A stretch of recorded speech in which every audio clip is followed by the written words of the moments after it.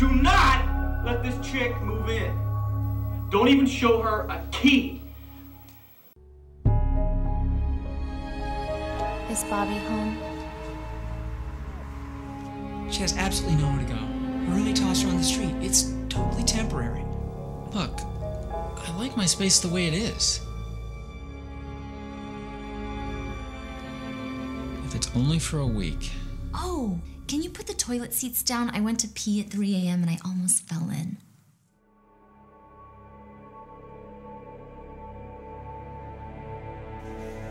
What are you doing? Packing. Why? April made up with her roommate. That was fast. I'm going with her. You guys should live here. I've been thinking about it. It makes sense. A toast to Patrick, to whom I look forward to sharing this beautiful home with.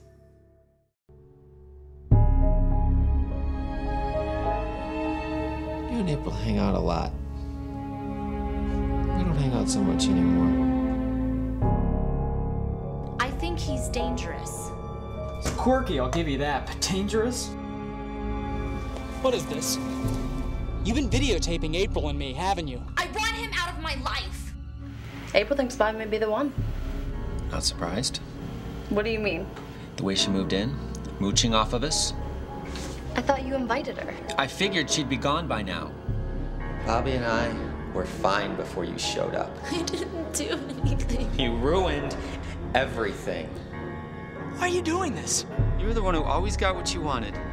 The popularity, the friendships, the girls. I didn't have any of that. Not listening to this anymore. She ruined everything! You saved me, Bobby. Now it's my turn to save you.